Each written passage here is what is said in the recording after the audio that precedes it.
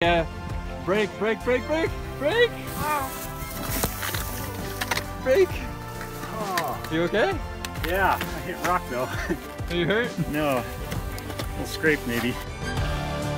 But usually, after the first High Sierra Pass, all of our student researchers are gaining confidence, overcoming emotional barriers, and managing their fear levels well.